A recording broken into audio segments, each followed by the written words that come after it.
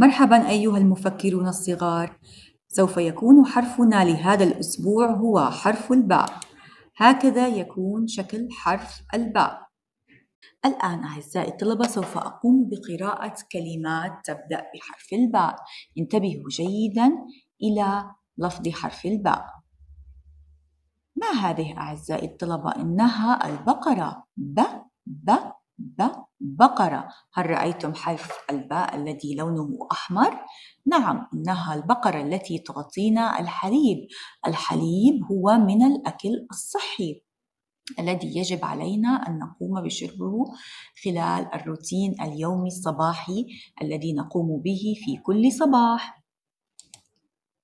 انظروا إلى هذه البطة. ب ب بطة. إنها بطة صفراء جميلة. البطة أيضا.